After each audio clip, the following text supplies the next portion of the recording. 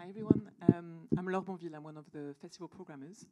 And we're delighted to have um, a bunch of great filmmakers uh, who made very personal and incisive uh, films. So please welcome Sam, who directed uh, The Wolf Suit. Hello. Uh, Ahmet, who directed uh, Les Enfants Terribles. Hello, hello. And Jide, who directed uh, When a Farm Goes Aflame. Hi.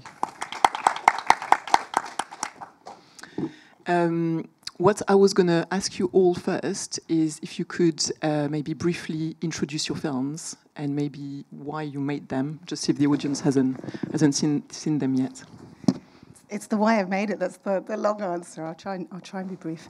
Um, so my film um, uh, it started with a kind of dilemma of that I remember my childhood as being very happy before my dad left at about the age of six, and then uh, my parents really weren't talking to each other at all, and I was getting both their versions, which were completely different from each other. I felt they were completely different. So um, I set out to make the film quite a long time ago, and there was it ori- originated as a kind of fiction, and then it developed into being a documentary. Uh, but basically, during the course of the film, I I reconstruct scenes from from that period, from what I remember, but also scenes from from their stories with them on set, um, discussing the scenes, and we document that whole process. Um, and yes, why I make it, made it is I think I think it was a central dilemma for me that was that kind of opened up so many questions about how we remember and uh, the, the idea of objective and truth and subjective truth. Thank you, Ahmet. So the question, I mean, if I answer for the why, I, I still don't know why I have done it.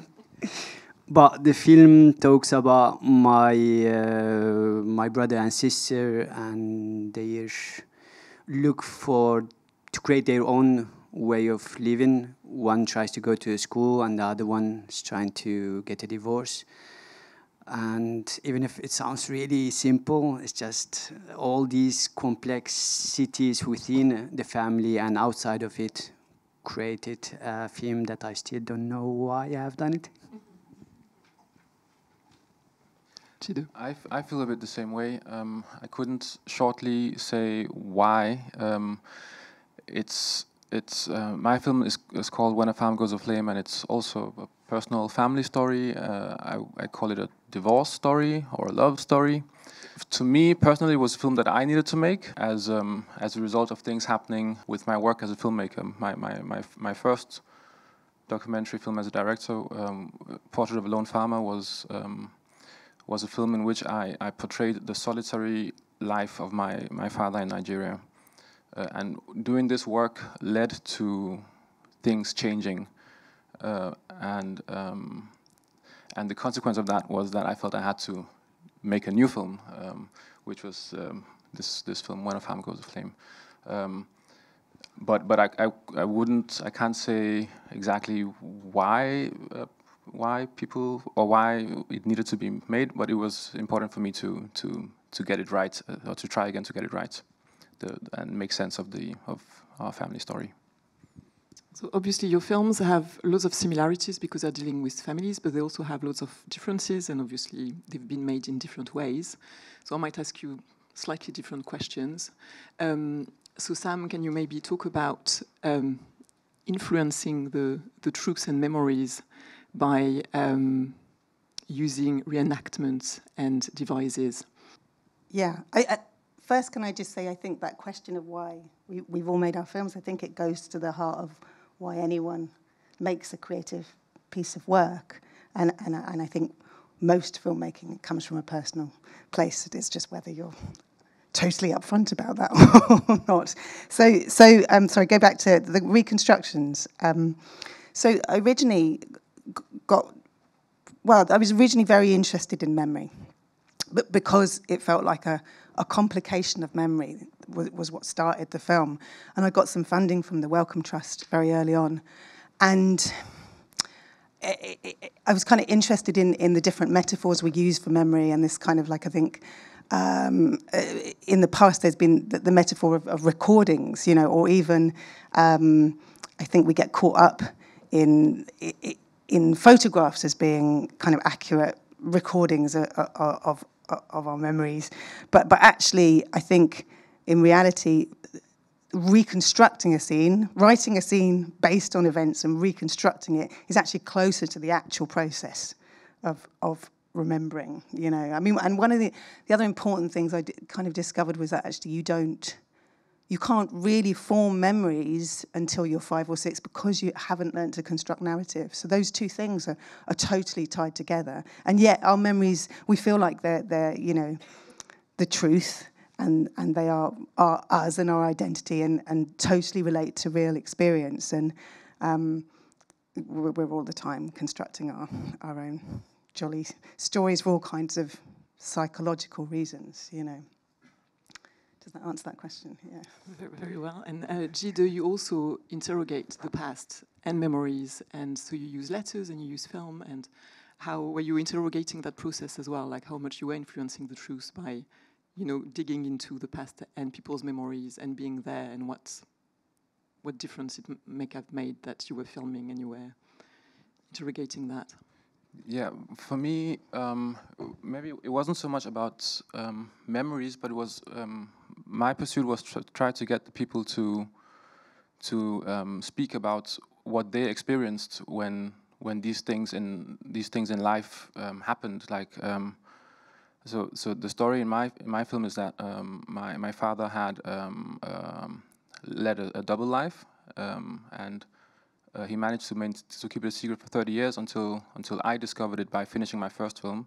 So I brought the news of my father's double life to to my mom after 30 years of a long distance uh, mon monogamous marriage, or, or, what she thought was a monogamous marriage. Um, so so this of course is a very very delicate thing because um, there's a lot of anger, a lot of shame, and um, in the first instance you would want to to put my dad out uh, my dad out as a as the bad guy for for lying.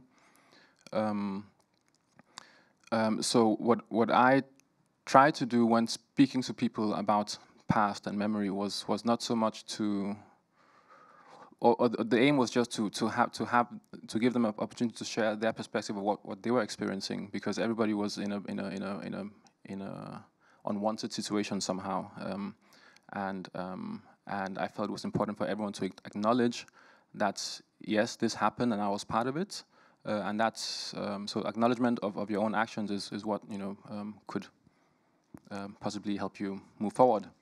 Um, so that was um, my approach to, to when addressing the past. It wasn't just for, for the sake of, of story or nostalgia, but for finding how did this particular person experience this moment in the history of the family. Thank you. And Ahmet, um, obviously for you, your film is a bit different because you're you're actually filming what, what's happening in front of you, and uh, the conflict between your uh, siblings and your parents. Um, and I was wondering how much you might have felt that the fact you were there and filming them has maybe influenced what was happening and all these kind of conversations and arguments they were having and also, I guess for you, it must have brought maybe um, a lot back from the past and from your own upbringing and, and, and yeah, and the relationship you had with your family before. Uh, I left home. I left my family at the age of 13, and then I moved alone uh, against their consent. So I moved from one city to another, and then from one country to another, and when I arrived to like in my 30s and I had a seven years relationship and I was just about to have this dilemma of like, are we going to make a family or not? And I realized that, uh, I mean, there are certain things in the past that they are still in the past, which we still carry with them, and I still carried with them. I still carried them with me and then when the situation of my sister and my brother reached through the telephone, even though I didn't know them at all since I left, I knew them just by little things. I realized that it's it was the same thing happening to them 20 years later, and going there, I first tried to film myself as well. I mean, I didn't know that it was going to be a documentary. That's question that kept. Uh, I was there and I was saying like, what am I doing here? Like, why am I filming? Uh, at any rate, I didn't want it to be in the film just because of this question, because of the past, because I think the past was the present, and I wanted just the present to be the present. And you think being there might have changed what um, what was going on in your family when you were filming them? That's the question when I uh, when I brought my siblings to see the film in a festival, and then we had conversations, and they asked themselves and asked me, did they really did the presence of the camera with me as a brother in that change their behaviors? According to Mahmoud, he's yeah, it did. I mean, for Zainab, it didn't change anything. That's what she told me. But I think it changed for all of us. It's just like we can't deny it. The presence of a camera with someone and maybe an outcome of a meaning out of the lived daily events. Yeah, it changed. It changed events. And I had a question about deciding to be on camera in your own film. So Jide and uh, Sam, you are both like main protagonist in your films. So you touched a bit upon it, Ahmet, but so you decided not to in the end. Can you can you expand on that? Why you decide to be there or not? It's well, it's not the first of my films that I've been in. Um, I think I think it's a, about presenting myself as an equally unreliable narrator as everyone else in the film. And to do that, I kind of had to be in the film that there's a. Um, I've always, if I'm honest, I've always struggled with documentaries that present uh, objectivity, you know, that, it, that, that, that, that feels like a, uh, a slight dishonesty that, that, that you're never objective, that the moment you, you hold up a camera and the moment you choose which shots to put in a film, you've constructed a story. But for, particularly for this film, because, because the truth is so contested in the film, and I have yet another truth from all the other people in it, I, I didn't want to um, be the person saying, this is the truth. And I think if I was just behind the camera for my film, no, I think I would have been doing that, which is the other reason, because I, originally started writing it as a fiction. Um, and that was the, the, other reason I moved away from writing it as a, as a fictional film into documentary, because it became apparent it was, you know, j- just members of my family finding out I was a fiction were, were kind of like, well, who, who are you to, to be the one that writes our family story, you know. So I wanted to present it very much as this is my version of the story, and here I am exploring it, and you can explore it with me. So I'm the central character, and you get to have my experience. But it's just my experience of it, you know. Um, being in there myself, um, it felt yeah. I, I I didn't think too much about it. I didn't I didn't like. Um, stress myself too much about it. It felt like a, a very direct and um, and I guess open way to to to navigate through the story, to to guide the audience through the story, and then and then it's also just my style of of filming. Um, at least as a director, as a, I'm, I'm kind of, I'm, so far I'm a bit of a one-man band. I go out, I have my sound equipment, I have my camera. So me meeting people is always is always it's always clear that that the people that I'm watching are somehow relating to me, like my presence. I, I, don't, I don't try to disguise my, my, my presence or, or the confrontation or the. Um, so um, so yeah, it, to me it felt like like a, um, uh, not easy, but but maybe an open and, and an honest way to try to navigate through the uh, the many different stories, um, and then to help keep uh, remind the audience that it's it's my perspective and I'm I'm the one doing the journey. Um, um, also to, to, keep that in mind because when you see the film, you you see that many of the protagonists are not necessarily. It's not easy for them to participate. Um, um, so somehow it's it's I think it's it's it's good to to remind the audience that that it's it's me trying to achieve something and it's not necessarily them trying to do anything. If I could add something, no, it's just like um, I had like 10 days essay of with a cinematographer and it was weird to bring someone after three years to be filmed. And I realized like she was filming me and when I was watching during the editing room, I was watching myself saying things that are really, I just couldn't find myself authentic in that world. It's just like I was saying things, all very moralist things that I know right and there are universal rights and a mother should not treat her daughter like that. And I realized that I wasn't part of it uh, emotionally, I wasn't part of this world. So I couldn't be present as an image either. That was one of the other reasons. But you are present in your film, I think, as well. Just to say, you're very much Thank you. I mean, behind the camera, present. Yeah. yeah, yeah, yeah, presence. But but to me, I, I wouldn't say that, like you you just briefly said that that uh, that I'm the main protagonist of my film, and I, I don't see it like that at all. Um, my intention was that my mother was supposed to be the, the, the main character, and then my my my half brothers. Um, but the but the relationship uh, and and and, the, the the perspective is always mine as either a son or a distant brother or um, yeah. So so so this relationship I think is was important for me to establish. Um, but but uh, but um, yeah, in my in my mind, it's it's a film about my my mother and my brothers. And um, Sam and Ahmet, you've also you've worked in fiction as well, and so can you maybe um, and I think Jide, you've worked maybe not as a director, but you've also worked on fic- fiction films as well. Can you say for you that also filming people you know, and what is the main difference really that that there is maybe about you know making a film with people you know personally very well, in, even in the filming process, that you would or wouldn't do with maybe people you don't know or what what really happens there. Filming fiction is entirely, entirely different. It's um, Or even filming documentaries with someone you Yeah. don't know that personally well. Yeah.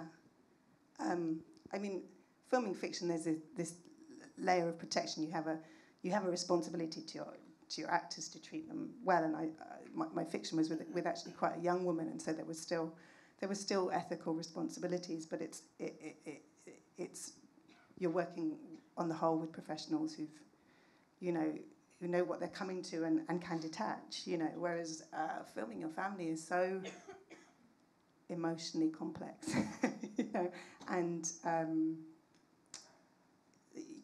you're continually having to, or certainly I was continually having to question and thinking about what I was doing, why I was doing it, and, and, and, and why film it, and why, you know, make public the private, you know. Uh,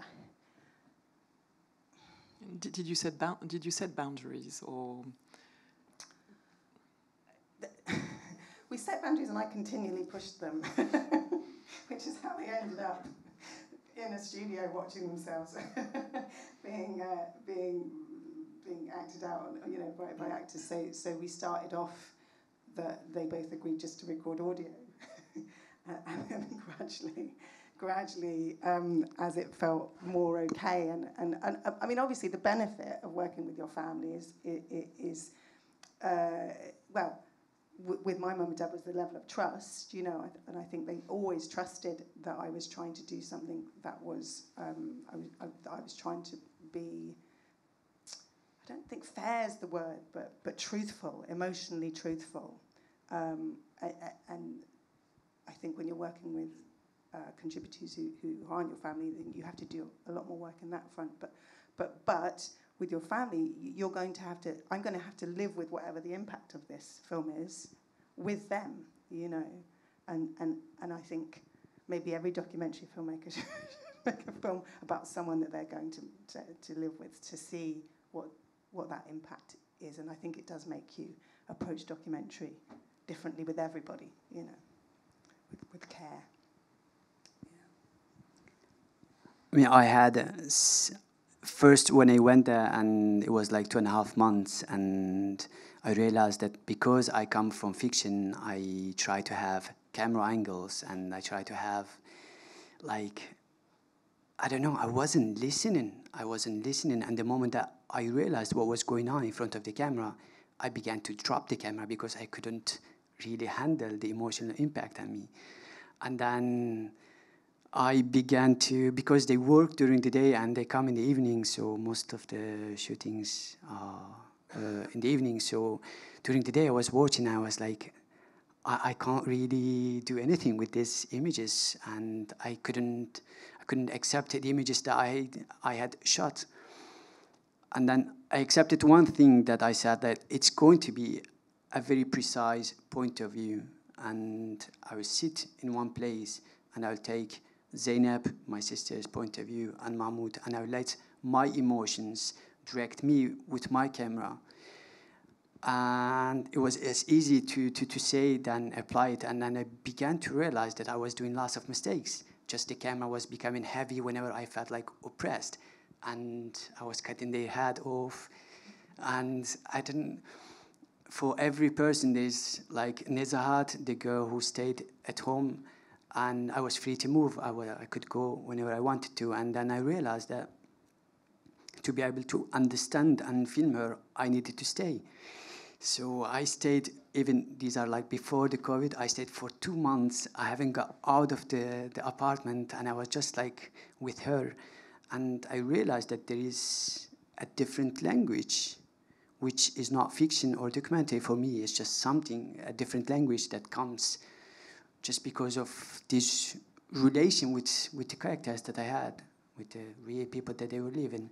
So with every with every person, with Nezahat, I was heavy. With Zainab, I was very close and I moved in around. And with Mahmoud, I was like, he, he's a very enigmatic person, so I was keeping my distance. And I realized that I was pushing everyone to the edge of the camera, uh, camera frame, frames.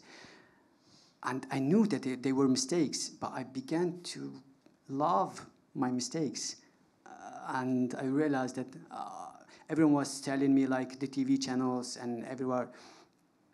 I just pitched it after uh, after the first two and a half months, and they were saying like we can't use that, not even in TV. so all right. uh, I was pitching in, in Barcelona, and there was this the, the Netflix uh, coordinator, and he was there like, and they showed the images two and a half minutes, and they said like, what do you think? I don't remember his name, but what do you think? He said, like, this is exactly in Netflix what we don't like to buy and we don't like. It's just like, all right.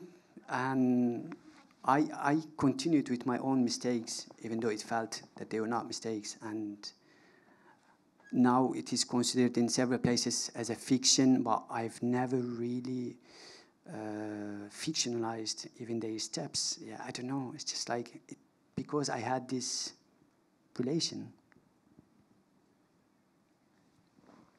It's uh, interesting that because when I watch a film, I notice that some of the composition sometimes was was off, and um, and I was thinking that me as a camera person, what would I do in that situation if I if I found myself in a situation where maybe I drifted off and the composition goes off, I would want to correct it immediately. I I, I noticed the mistake, so I found that in your in your scenes, and I don't know if we're talking about the same scenes, um, but um, uh, I found it uh, convincing and, and, confident that the camera just stayed like that uh, with with the protagonist on the edge of the frames, or um, um yeah. So I found it was a, it was a very confident and, and strong visual style. So I'm happy to hear that.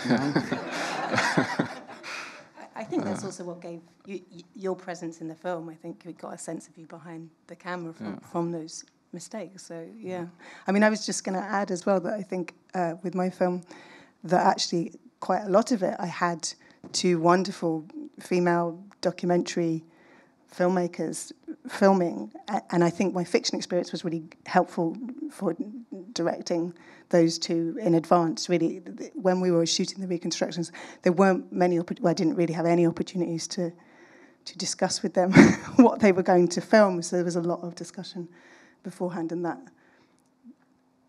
that changes things as well when you when you give the camera to someone else and then and then allow things to unfold. Which meant then in the edit, I saw what was unfolding through two other documentary filmmakers' eyes, and that was that was absolutely fascinating.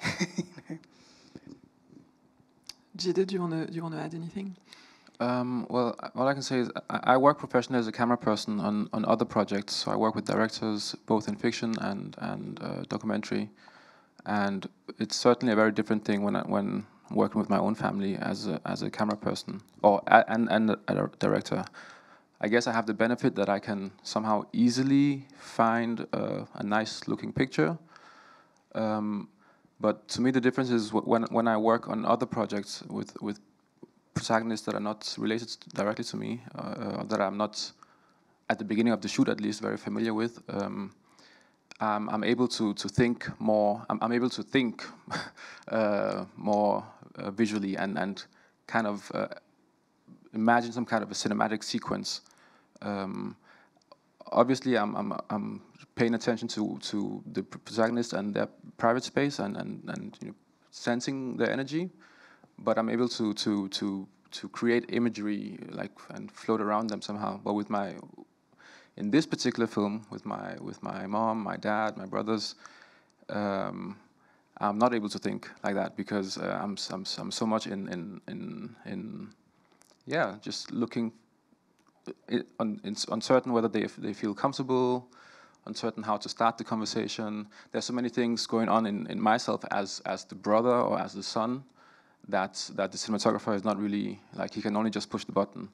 Um, so that's that's that's something I noticed at least. Um, that that's my the cinematographer of my film didn't really have much uh, much of a playground uh, because um, uh, it was often quite uh, complex conversations to, to navigate through. And not, I'm not only observing what they are saying, what they're doing. I'm also contemplating about my own a role because I'm I'm also part of it, and whatever I say in response is also um, so I'm, I'm, kind of filming myself as well. Thank you. And um, your films uh, deal with quite painful subjects or memories.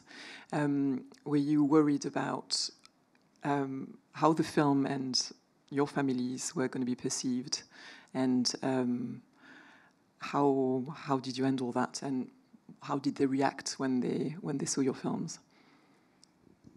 Do you want me to start? Um, um, so obviously the world premiere is tonight, so I'm still kind of uh, waiting for the response. I know there was a press screening yesterday. I saw one person from that press screening. So, so, uh, so that's a strange place to answer that question from. I, you know, it, it is nerve wracking as to how I, I know how how I feel the film portrays my family. But um, yeah, so but my parents have both seen the film and in fact are, are in the film watching the film, um, and um, were involved. In fact, they they watched subsequent edits of the film, and there were lots of conversations about the cut. You know, uh, that were helpful. You know, both to the film and to us as a family. I would say. So, is that answer the question. I kind of feel like I've forgotten the question and the answer. I, I guess it's, it is difficult to talk about because it's um, that that's the place where you know you, you you don't quite know what you've done to them. you know, I feel like it's an important story, and actually, and and and so do both my parents. But but um, you never know how people are gonna, what what people are gonna take from it. You know. So yeah. yeah how, did, how, how did yours go?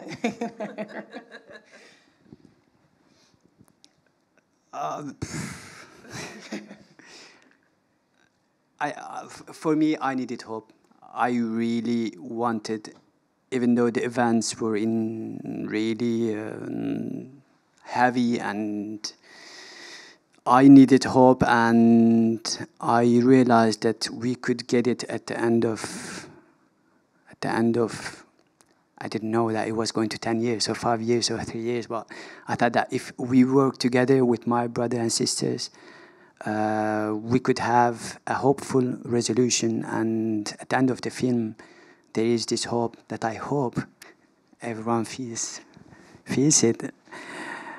I recently showed them the film and and they took the parts that they are present in there. They said like uh, Zainab said she she loves her courage, even though in real life she doesn't feel that every day, and she feels like she saw the film in two presentations in the cinema, and I, I sent her a link, and she began to see it almost every day, and gave me lots of feedbacks about herself in a strange way.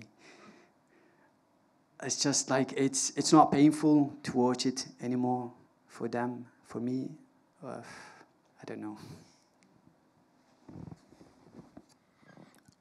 Yeah, I think my film is also still in, in, in the process, or my family is also still in the process with this film. Um, um, many protagonists, uh, the main ones, my mom and my two half brothers um, over in, in the Americas and or in, in North America.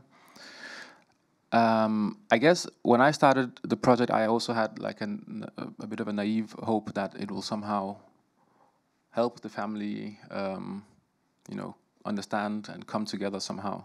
Um, and I also only started filming at a time when I felt that the worst of the drama was over, like the worst of the, the hurts was over, and people were, were able to reflect calmly about about the past. Uh, but obviously, when I started the process of filming, everything blew up again, and and um, it became even more complex.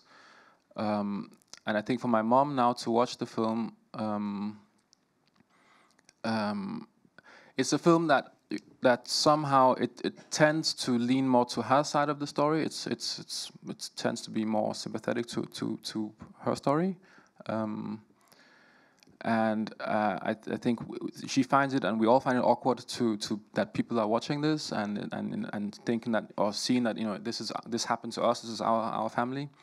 Um, but many people relate, and I think my mom also um, understands that. And um, what I do worry about though is um, is because I experienced that with my first film as well. Is when the narrative, the story of the film, starts becoming the memory of what actually happened, uh, and um, that is uh, that sometimes uh, confuses me.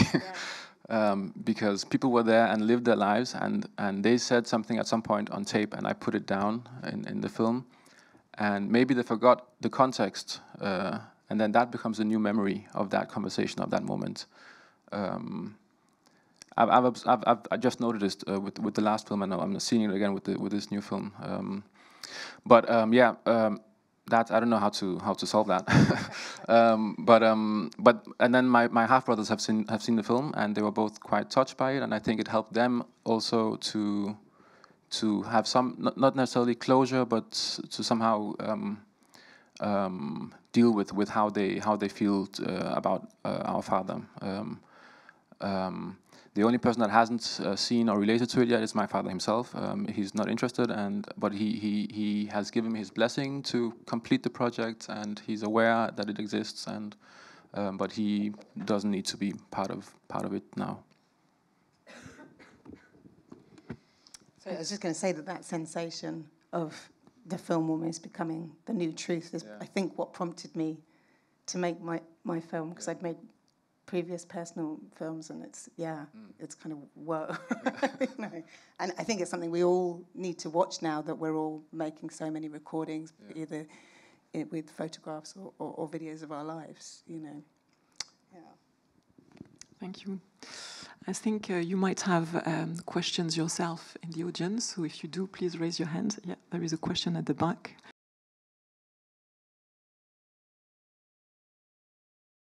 It, it was my film was made over many many years, um, and and it was very very gradual. So I, we only ever did what they felt comfortable doing. So they were, no, they were were never hard nosed, and I, I think I never kind of tried never to get myself into a position where I might get a hard no. you know, um, although actually, when I asked them to do the reconstructions, I, w- I was quite surprised at my mum's openness to it.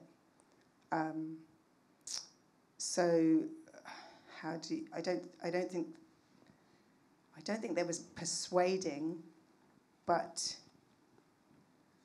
I think maybe just my sheer kind of perseverance with the project was like the dripping.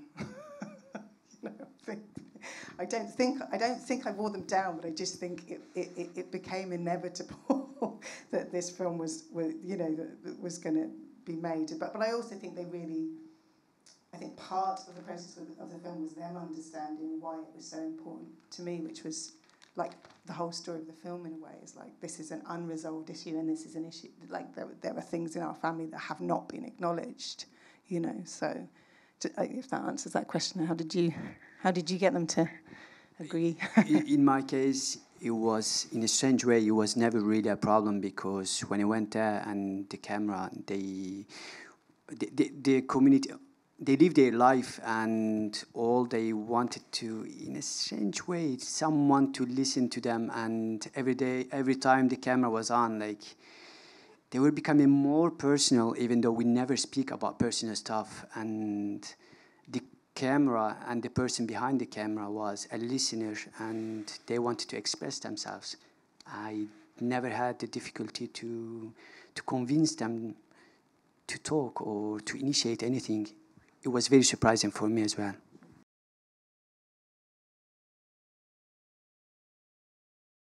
I didn't know that either. I mean, I didn't know the outcome of my images. I was just shooting their daily life. And when one and a half years later, when it becomes, I edit 20 minutes and I began to show it, I realized that it was going to be a film and a story with everything. Then I asked them and I told them, this is going to be that and then they said like okay. But after that moment it began to change. I think i created the moment that i told them about this i created a sort of expectations uh, that's i didn't know i don't know how to deal with it but i think i used most of the rushes that i've shot before. Afterwards there was a sort of expectations and they were acting or not acting but they were like they were heading to a direction like it can be a film, and I didn't like it. Uh, in in my case, I um, so I had made a documentary before based just focused on my father, and that was my first film. So that was that that film happened very like easily and wasn't many big questions. It just kind of just happened. But then it became a, a film that was fairly successful, went to festivals and won some awards. So um, I think that's already changed uh, how my family related to my camera. Um, because I had always been taking pictures, and I, like I'm a photographer. I'm always behind the camera. But after this, the first film came out and became a public thing. Um, my camera, it felt different. I, I, could I could feel that they were they were they had a different energy towards my camera.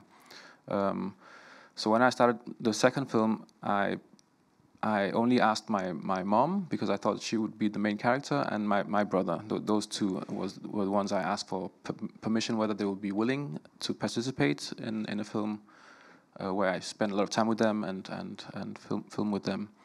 Um, I didn't I didn't at that time I wasn't thinking that I would I would involve my dad, and I wasn't um, really aware of of an, an, another secret half brother of mine that that shows up in the film.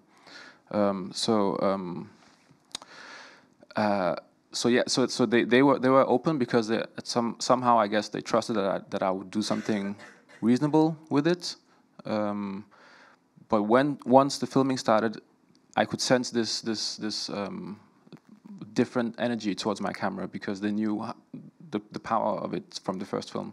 Um, so so they were not as uh, given or, or, open as I expected. Um, and but I still sensed that since they agreed and and the doors were open, but I had to like I had to keep them open. I had to like I had to keep doing things in order to to um, because my my brother he would have me come over to Canada and have me spend time there, but he wouldn't necessarily want to engage in the questions that I that I had. Um, so I, I met a lot of no's along along along the along the road.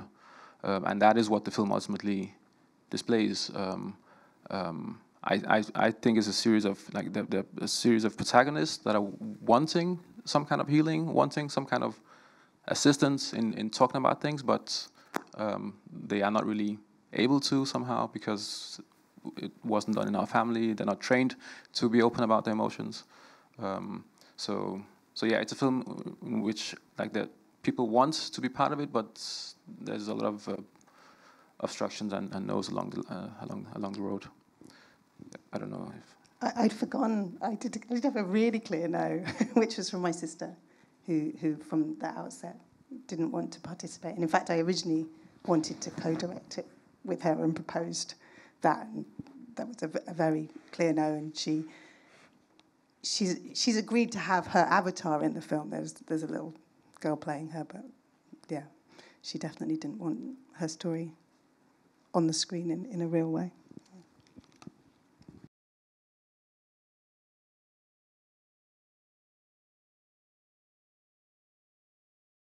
For me, each of those ethical questions becomes an examination of myself. so, why have I chosen to do this? Why have I chosen to, to, to you know, I, I, and some choices are aren't choices you make consciously. I think that's always true when you're filmmaking. That, that there's a, a large proportion which is instinctive. So for me, I, I noticed after doing the first set of interviews that I had chosen to interview my dad on his own with me behind the camera.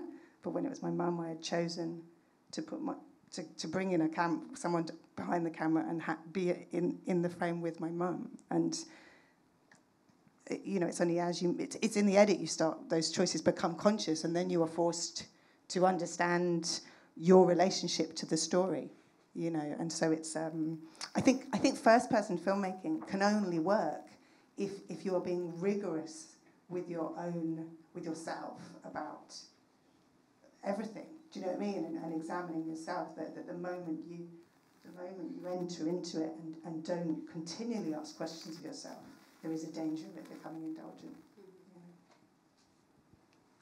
I couldn't deal with it. I mean, with the ethics, I couldn't. In the editing room, after three years, during three years, I've shot and edited.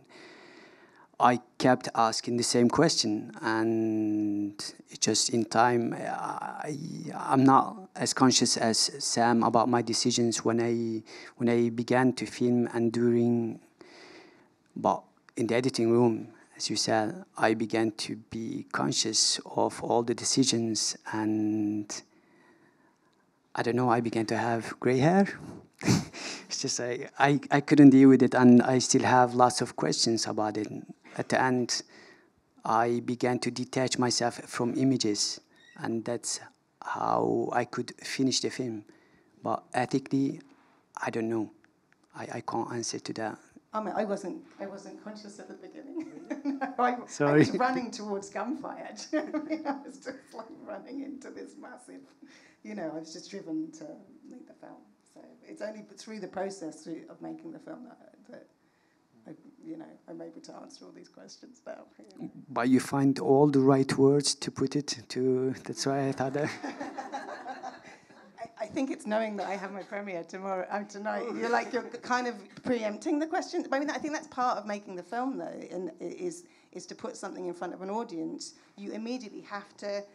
It, you start that in the edit room. You have to try and take the seat of the audience, and then that means you're looking at your family, yourself, in a, from a different perspective, it forces you to do that, you know. And if I think if I hadn't made the film, I'd still be, I'd still be in this world where I was hi- hanging on to my narrative so tightly. I hope this is recorded so I could use it in another place. Jide, do you want to do you want to add something? Mm. I felt often that in my case it was also uh, a bit of a minefield, or many different themes that I had to to be aware of: um, black, white, Europe, Africa, um,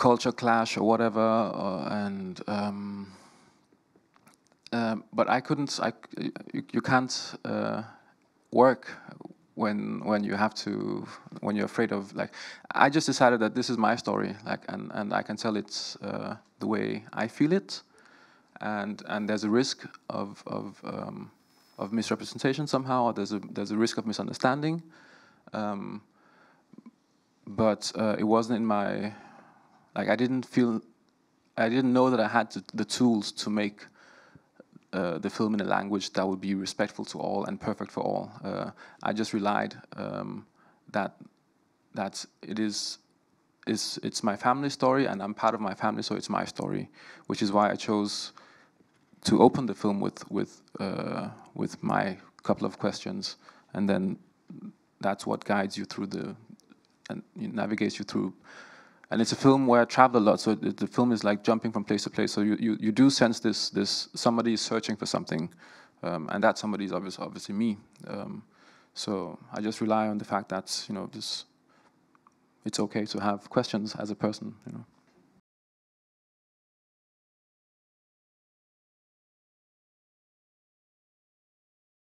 Yeah, I, I think what documentary allows is to present the complexity of different positions. And I think you can do that within, within, within fiction. But I think if you're doing that from your own story, you're, you're less likely to be challenged on your version. You know, so I, I, if I'm honest, I've been to the cinema and watched films and felt this is the filmmaker's family story. And if I'm, again, if I'm honest, felt annoyed because I felt like, well, in particular, the portrayal of the mother is, is often out, you know, so, so, so, um, but, but, you know, so, so I, I um, yeah, I, I, I wanted to avo- avoid that. I think, yeah, documentary, as I say, uh, uh, allows for that complexity and I, I do think there's, I think it's a privilege to think you're being objective. You know, I think anyone who's not, um, you know, kind of, I guess to, to, to say it like, you know, Western white middle class male knows that there isn't an objective story because what's being presented as an objective story isn't for, for actually a lot of people. You know, it's been presented as the objective truth. You know, and I think there's a. You know, so so yeah. I mean, your question is a good question because it opens up so much discussion. But but that's not to say I don't think you can't do it through fiction. And I have seen, I think Marriage Story uh, is a great fiction film that presents two sides of a divorce in a way that feels truthful. And and I think good fiction is when the, and that was based on, I think, a real story. I think good fiction is when the filmmaker is, if they're using their own material, which most fiction filmmakers are, um, that that it's um, that, it, that, that you're equally rigorous, you know, because telling stories is about finding emotional truth. That's that's the whole that's the whole thing that we're trying to do, and in so doing, take us all on a journey where we try and work out what the hell's going on, you know. Thanks. If I could add something, it's just like I've been hearing this documentary and fiction definitions. I don't understand the difference. I, I really don't understand the difference, and I don't know at what point we could define what we do as fiction or documentary. Is it based on the reality? And I don't know. I mean, you, you answered very well. I still will use it probably. it's yours. Great. Um, so Jide's film When the Farm Goes Aflame is the second screening is playing as we speak. Um, Sam is having her world premiere uh, tonight, The Wolf Suit, if you still uh, haven't seen it. And Ahmet, you've got also your film screening tonight and in the next few days, so you can catch up with these films um, if you haven't seen them. They're amazing. Thank you so much for being here. It was uh, it was great. Thanks a lot. Thank you. Thank you. Thank you.